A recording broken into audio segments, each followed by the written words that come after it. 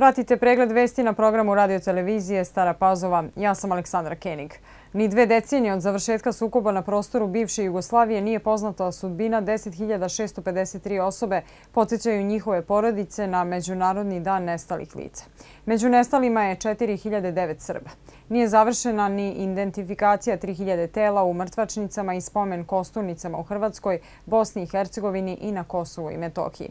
Direktor Kancelarije za Kosovo i Metohiju Marko Đurić izjavio je povedom 30. augusta Međunarodnog dana nestalih osoba da očekuje da u narednom periodu periodu Beograd i Priština načine odlučniji pomak ka srpsko-albanskom pomirenju tako što će bez izuzetaka utvrditi sudbinu svih osoba koje se i dalje vode kao nestale.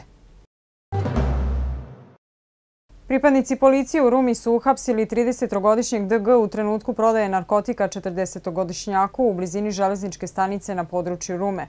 Policija je kod osumnjičenog pronašla 25 paketića sa praškastom materijom sumnjivom na heroin, a prilikom pretresa njegovog stana još 35 paketića.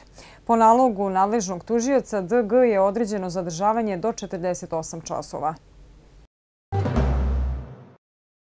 Proces pridruživanja za Zapadni Balkan, uključujući državu koja je sada članica Evropske unije, temelji se na pomirenju, dobrosusjedskim odnosima i regionalnoj saradnji, a eskalacija retorike na doprinosi ispunjenju ovih principa izjavila je port parolka visoke predstavnice Evropske unije za spoljnu politiku i bezbednost Maja Kocijančić. Ona je tako odgovorila na pitanje da li će Evropska unija reagovati na apele koje su u poslednje vreme uputili srpski zvaničnici i odgovoriti na retoriku hrvatskih političara. Sutra zbog elektromontažnih radova u vremenu od 8.30 do 14 časova u Vojki će bez napajanja ostati trafostanice Kris.com, Braće Kočijašević 1 i 2, Europlastik Dušana Đurića i Zemunska. A u Novim Banovcima od 9 do 13 časova bez struje će ostati potrošači iz parne strane Zemunske ulice zbog radova koji će se izvoditi kod broja 40. Opštinska organizacija Crvenog krsta Stara Pazova u saradnji sa Kancelarijom za mlade i pripadnicima policijske stanice od 1. septembra će sprovesti edukativnu akciju kako bi se povećala bezbednost dece u saobraćaju. U okviru edukativnog dela volonteri Crvenog krsta i Kancelarija za mlade će najmlađe učenike kroz igru i animaciju pokušati da obuče o pravilnom i sigurnom ponašanju u saobraćaju. Akcija će trati do 10. septembra kada će na trgu u Staroj Pazovi biti predstavljena pokazna vežba za sve zainteresovane posetioce.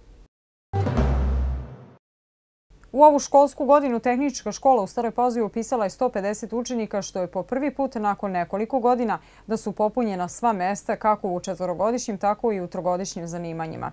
Primetno je veliko interesovanje za ovu školu, što je po oceni direktora Lazara Đukića rezultat saradnje sa privrednicima. Za bolji rad u učionicama iste su uređene, zamenjeni su dotrejali nasloni na stolicama, okrečeni su hodnici i okrečena fasada koja nije sređivana od 2008. godine. Sve je finansirano iz opštinskih finansijskih sredstava.